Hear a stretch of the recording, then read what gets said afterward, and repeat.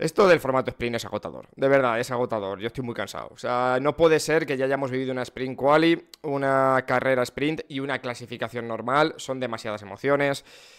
Eh, esto es agotador, hay que buscarse otro hobby para hacer contenido, ¿vale? O sea, decidme en comentarios que os parecería hablar, yo que sé, de paddle. El paddle no, en el paddle no hay carreras sprint, ¿verdad? En el paddle tuve un partido paddle y ya está, y acabas y, los seis que os viendo el partido paddle os vais a tomar una cerveza después. Hay, que cambiar de, competición, ¿vale? Me dejáis en comentarios ideas, porque yo no puedo con tanta... con tanta variedad de emociones y de cosas que comentar. Vamos a hablar de la sprint vamos a hablar de la quali, pero vamos a hablar muy por encima de ambas, ¿vale? Porque uno de los problemas, y esto sí que lo digo de verdad, uno de los problemas principales del formato sprint es que apenas y, además con este formato nuevo respecto al año pasado, apenas tenemos tiempo de, hablar de la carrera sprint. Quiero decir, ya está, ya ha pasado la emoción de la sprint. Ha durado tres horas el poder hablar de la carrera sprint si nos centramos en términos de actualidad. Tres horas ha durado. Hay una polémica muy tocha que ahora la hablamos, pero ha durado tres horas. tres horas. Porque ya luego ha venido la clasificación para la carrera de verdad el domingo. ¿Merece la pena matar tan rápido la, conversación respecto a una carrera? Eh, me parece triste. Pero bueno, Hablaremos de eso de la sprint, ¿vale? Hablaremos de lo que ha pasado. Eh, y hablamos de la, de, la, de la quali en este vídeo, ¿vale? Suscríbete al canal, nunca lo digo al principio, siempre lo digo al final, así que te lo digo al principio, suscríbete al canal, porque si, si te gusta lo que ves, apoyas bastante, comparte los vídeos, ya será increíble, en fin, lo de siempre, ¿no? La chapa típica del youtuber, pero es que es verdad que esta mierda funciona. Yo cuando digo en un vídeo que os suscribáis, de repente la gráfica sube, hace Así que, yo qué sé, tendré que decirlo más. ¿Cómo tenemos que decir más que prohíban el formato sprint, no? Ayer estaba contento, ya estoy hoy enfadado. Así va, así va mi vida. Soy una montaña rusa de emociones. Vamos a empezar por la sprint y vamos a ir rápido a dos, tres cositas importantes, ¿vale? La primera, Lando Norris, te viene muchísimo mejor. No sé cómo lo ves, Lando, escúchame, si me estás viendo, ¿Are you listening to me? Hear me out. Eh... Lando, te viene mejor clasificar el sexto o el séptimo que salir primero o en primera línea. Porque no recuerdo una salida en primera línea de Lando Norris en la que no acabe mínimo octavo en la segunda curva. No sé cómo se lo monta el pobre Norris hoy. Estamos todos pensando, venga, vamos a por la pole, tal, Lando, venga, una mini victoria aunque sea. Y hoy era un bien, el que podía haber conseguido un muy buen resultado Lando Norris. En la primera curva, paralelo con Hamilton, pierde un poquito el control del coche, por fuera por la pista húmeda, se queda octavo. Eh, séptimos, creo que ha sido, perdón. Luego ya ha ido recuperando. Pero dramático, dramático. Me ha dado mucha pena por Lando, es que nunca le sale bien salir primero. Es una mala suerte que tiene el hombre, espectacular. Después Hamilton se ha puesto líder, vale, ha ido tirando. Fernando detrás pegado. Y Verstappen ha empezado a remontar por detrás hasta que Verstappen ha pillado a Fernando. Luego ha pillado a Hamilton y le ha metido 12 segundos, ¿vale? Le ha adelantado en la vuelta 9, eran 19 y ha acabado a 12 segundos, casi 13. Parecía por un momento que no iba tan bien el, el en las primeras vueltas, tenía problemas de gestión de batería, de hecho Fernando se estaba alejando de Verstappen, nos hemos vuelto todos locos, luego no, luego la realidad ha sido la que, la que es. Pero lo importante de esta carrera sprint, ¿vale? Ya luego nos vamos a la quali, es lo que ha sucedido precisamente entre Fernando Alonso y Carlos Sainz, entre los pilotos españoles, luchando por esa tercera posición de la carrera sprint, ¿vale? Hay quien lo llama podio, yo me niego. Para mí el podio es lo que sucede el domingo. Esto llámalo la segunda posición y la tercera. Para mí las sprint tienen un ganador, pero no considero podios. A nivel mío personal y como la Fórmula 1 lo cambia cada año, pues prefiero quedarme con mi criterio. Eh, pero en la tercera posición está muy bien, son seis puntazos que son bastante prácticos y más para lo que le está costando a Aston Martin sumar muchos puntos este año. Ha habido un momento en la vuelta, no sé cuántas vueltas eran, quedaban tres vueltas para la final, la 15 o la 16, no recuerdo bien. Pero en el que Carlos llevaba varias vueltas en distancia de DRS, en torno al medio segundo, siete décimas de, de Fernando.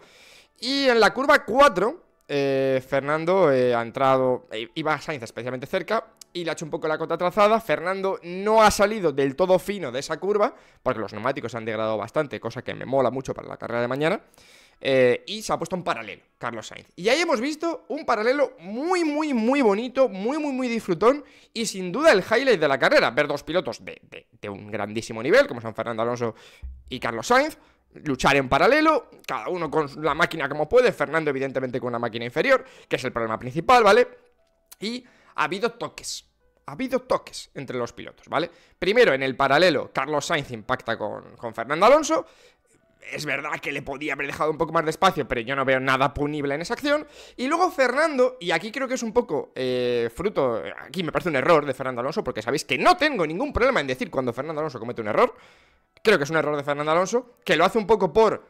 porque sabía casi una maniobra un pelín desesperada, porque sabía que el Aston Martin no estaba para estar donde estaba él.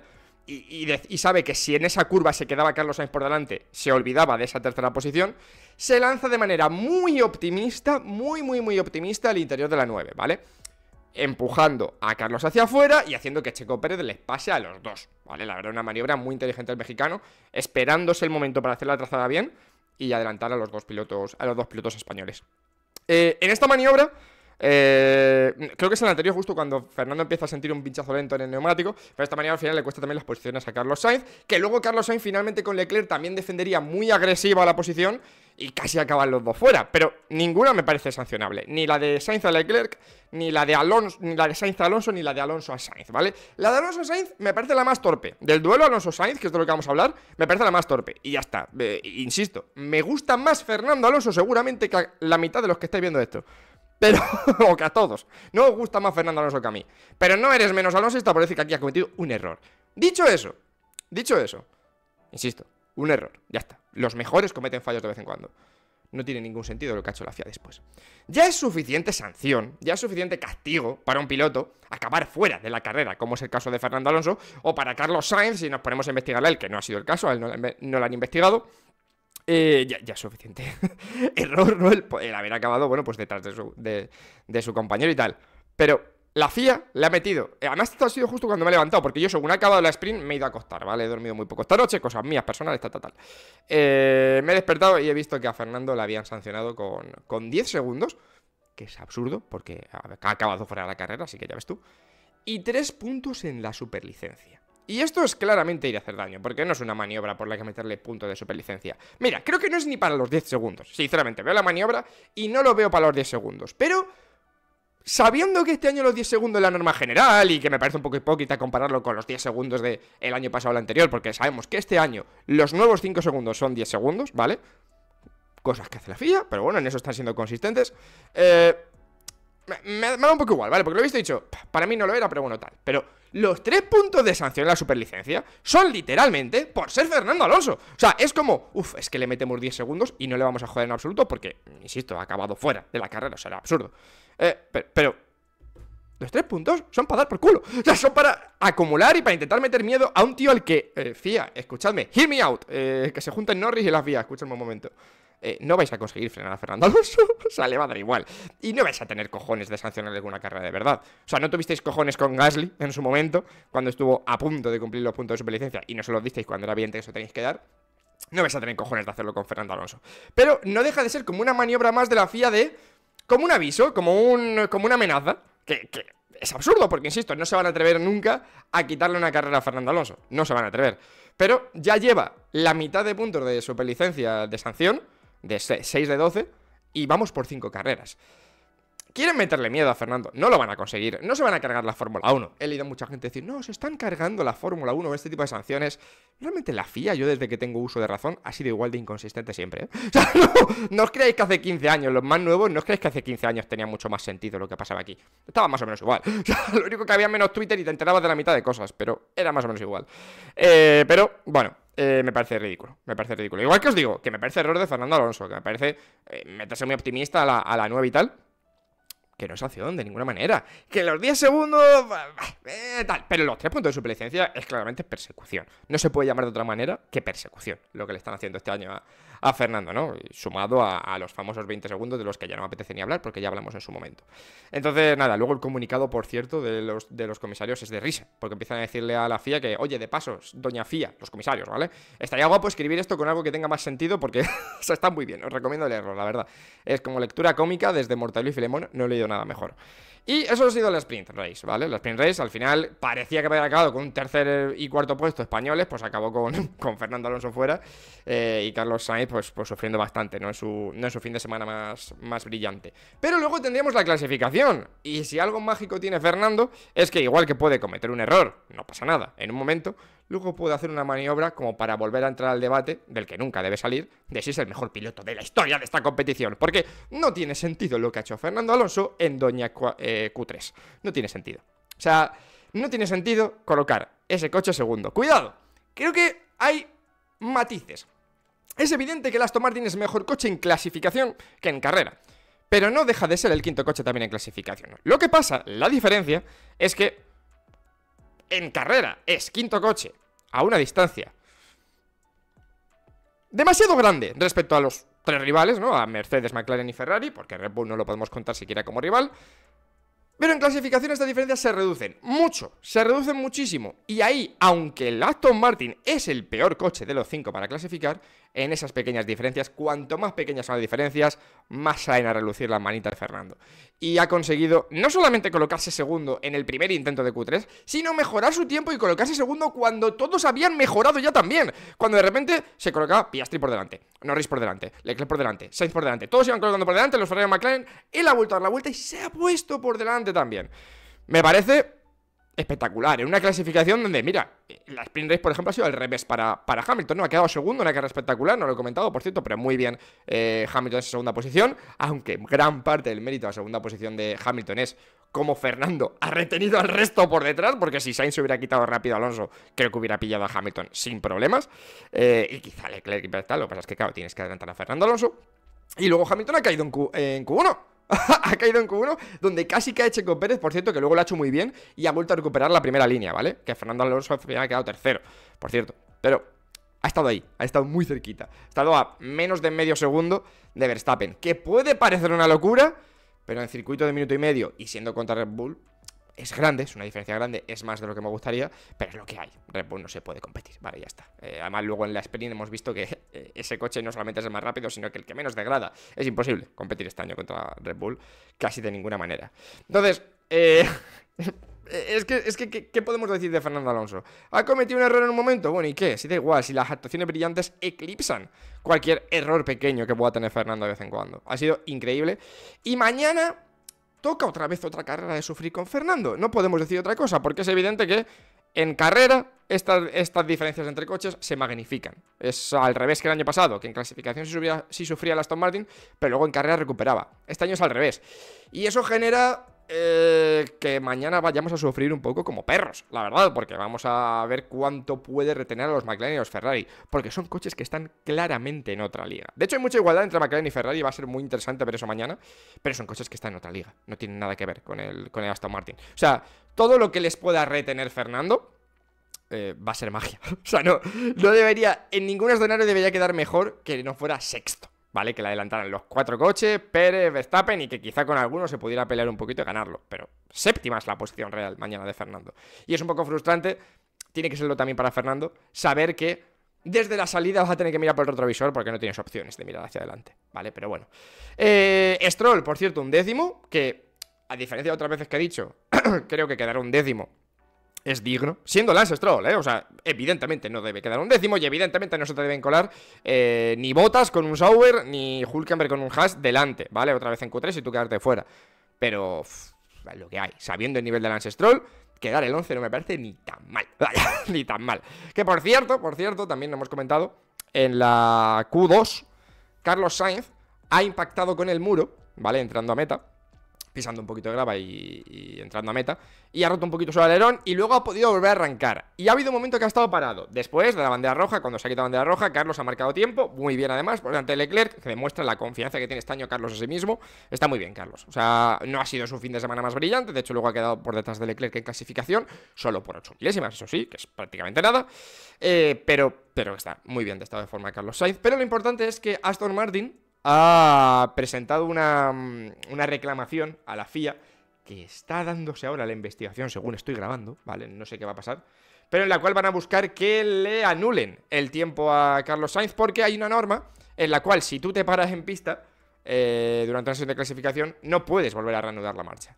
Y técnicamente el coche de Carlos Sainz se ha parado. O sea, se ha parado una vez ha trompeado y ha impactado con el muro pero ha recuperado el ritmo muy rápido y sin asistencia. Yo creo que no va a conseguir Aston Martin eh, nada de aquí, pero bueno, entiendo que quiera reclamar para que eh, gane una posición. Lance Stroll en este caso, ¿no? Que sería el, piloto de Aston Martin beneficiado por, por esa decisión. Incluso, ¿por qué no decirlo? También, también Fernando, si le quitas un rival por detrás, pues tampoco le viene, tampoco le viene mal.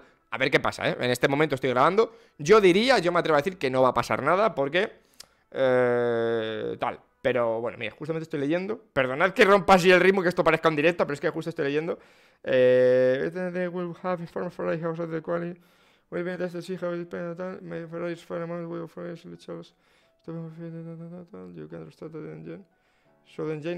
Vale, el motor nunca se paró y la regla dice pararte en la pista. De grasas, Bueno, que pueda haber más caso del que sea. Sea como sea, por el momento yo voy a hablar de Carlos Sainz séptimo, ¿vale? Que está justo ahora mismo sucediendo mientras grabo. Pero bueno, no me quiero enroscar más aquí. Yo diría que va a quedar, va a salir séptimo igual. Y aunque la regla puede decir una cosa, creo que el sentido común aquí implica que Carlos Sainz no ha sido una molestia en pista, ¿vale? Porque una bandera roja, evidentemente, pero se ha reincorporado muy rápido al, circuito. Pero bueno, veremos qué, veremos qué sucede. Por otra parte, yo estaría de acuerdo con que cuando un piloto provoca una bandera roja, siempre, sea cual sea la circunstancia, sea descalificado esa sesión. ¿Vale? Pero esa, norma no existe, esa es una cosa que me gustaría a mí que pasara. Así que nada, por el momento no, no podemos decir nada de, ahí. Y por lo demás, guay, eh, hablamos antes un poquito también, Mercedes, pues muy inconsistente, ¿no? Eh, muy, ya os digo, en la Experience Race muy bien Hamilton y luego aquí cayendo en Q1. Russell también sufriendo las sesiones para poder para poder clasificar y quedando solo octavo. Y además como con una decimita y media respecto a la igualdad tremenda que ha habido desde Carlos Sainz clasificando séptimo a, Alonso, que ha habido una decimita, nada, prácticamente nada entre, entre esos cuatro pilotos. Eh, sí que Checo le ha metido una decimita y media tal. Muy bien Checo, por cierto. Muy bien Checo este fin de semana. Espectacular. Eh, tercero en la sprint y segundo completando otra primera línea con, con Verstappen. Está muy bien, Checo, o sea, se va a ganar la renovación. En un fin de semana en el que también ha estado bien, y no quiero irme de aquí, de este vídeo, sin dejar de comentarlo. ¡Ricciardo! ¡Ricciardo! ¡Ha estado bien! O sea, le cambiaron el chasos, eh, el chasos, ¿sabes? Que es como el chasis, pero el de, el de revés. Es un especial que, estoy diciendo yo ahora para tirar para adelante para no corregir mi error. El chasos se lo cambiaron a Ricciardo, ¿vale? Eh, esta semana, porque se quejaba, ¿no? Le achacaba su rendimiento que el chasos no, no le iba bien. Ah, y dijo Helmut Marco, ¿pero qué es el chasos? Y dije, no, es una cosa que ha dicho Fons en su vídeo. Entonces ya no va a decir chasis durante el resto del vídeo porque es tontísimo, va a seguir diciendo chasos. Y dijo Helmut, ah, vale, perfecto. Le cambiaron el chasos a Ricciardo y, muy bien. Eh, por delante en la Spring Quali de Sonoda, por delante en la Spring Rally de Sonoda, holgadamente, justo. O sea, creo que Ricciardo este fin de semana ha hecho lo que se le pedía a Ricciardo y ha clasificado duodécimo, que para el RB está increíble, ¿vale? Que sí, que el Haas, el Sauber, no sé qué tal, pero para el RB estar 12 está perfecto, vaya, para la carrera de mañana para poder pelear por puntos con, bueno, pues con eso, con Hulkenberg, con Botas. A ver, las paradas de 15 minutos que le gana Botas tal, Stroll es perfectamente ganable, sabemos que es su liga, ¿vale? La de competir con esta gente. Eh, bueno, pues a ver qué pasa. Hamilton llegará por detrás y podrá remontar y seguramente quede por delante. Va a estar interesante, ¿eh? Igual Ricciardo mañana consigue sus, primeros puntos. No será fácil, pero será chulo de, ver. Y nada más. Ah, y los Alpine han pasado a Q2. Eh, están de enhorabuena. Han pasado a Q2, eh, decimotercero y decimoquinto. Es una mejora respecto al resto de carreras, donde solo con consiguió pasar dos veces a, la, Q2. Así que muy bien, el mejor resultado de la temporada, creo, la mejor clasificación, la decimotercera posición de, de Ocon, que iba con algo de evoluciones en el suelo. Pues bueno, a ver si se traducen en una pequeña mejora de esta gente, porque yo que sé, a mí ya me da pena, la verdad. me da un poco de pena que estén tan atrás, ¿vale? A ver qué sucede. En fin, por aquí dejo el vídeo, ¿vale? Por aquí dejo my opinion, my honest opinion. Eh, de, bueno, porque sé que no podéis iros a dormir hoy sin ella, así que para eso os la cuento. Os recuerdo que eso, lo que os he dicho antes, que os suscribáis al canal, que apoya mucho en serio, te lo digo en serio, ¿eh? apoya mucho que os suscribáis, que compartáis los vídeos, que me sigáis en mis redes sociales, donde hemos estado comentando la carrera en directo, ¿vale? No he hecho directo porque no quería que, no quería que vierais a alguien balbuceando en directo, ¿vale? Ya hay otros que balbucean en directo, ya los veis. Eh, yo, no podía. O sea, quiero decir, si habría directo hoy a las 5 de la mañana o incluso a las 9, porque luego he dormido otras 3 horitas, eh, es, que no. O sea, quiero decir, tendría que poner subtítulos, ¿vale? No me entendía ni yo. Así que lo he hecho por escrito en Twitter, que me expreso mejor cuando tengo mucho sueño. Ah, os recomiendo que me sigáis por ahí porque suelo avisar de todo lo que hago tal. Luego tenéis un Discord para uniros, tenéis un montón de cosas. Os lo voy diciendo siempre. Si miráis en la descripción, flipáis con la cantidad de cosas que tengo. O sea, flipáis. El podcast, el bolidos, tal. Millón de cosas, vaya, un montón de contenido. Bueno, hay algo, Fons. No. Pero a ver, a ver, hay lo que quieran, vaya.